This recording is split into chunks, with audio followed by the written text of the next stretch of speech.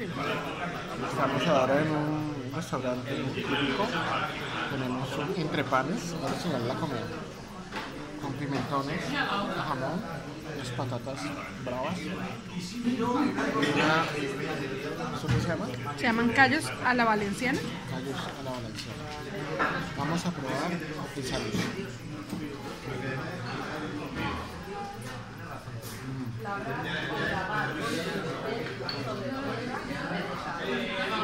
Adelante.